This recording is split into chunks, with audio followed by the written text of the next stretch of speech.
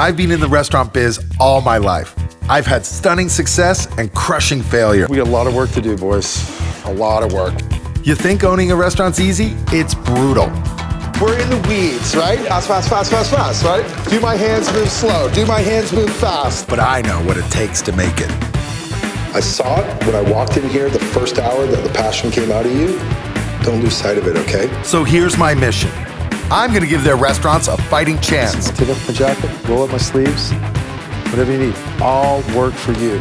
And I'll do anything to make that happen. Don't limit yourself. Because if they fail, I fail. And failure is not on the menu.